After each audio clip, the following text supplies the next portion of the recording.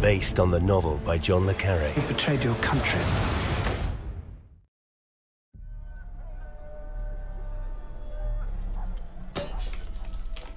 Stop staring. He's the one who's staring. Look. Come have a drink with us. Why don't you come to the villa for a small party tonight? This is a small party.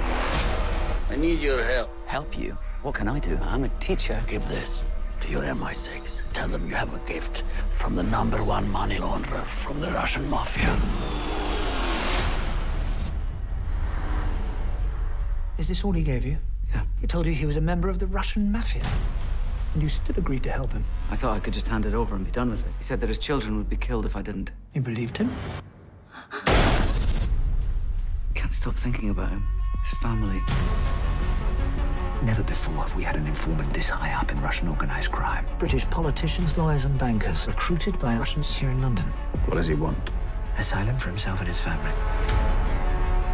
Trouble is, they'll only deal with us if you are there. in Paris. I can't get involved. I'm afraid you are involved. I'm a threat to Moscow, to Kremlin. I know where the money comes from. I need proof that all these people are being paid.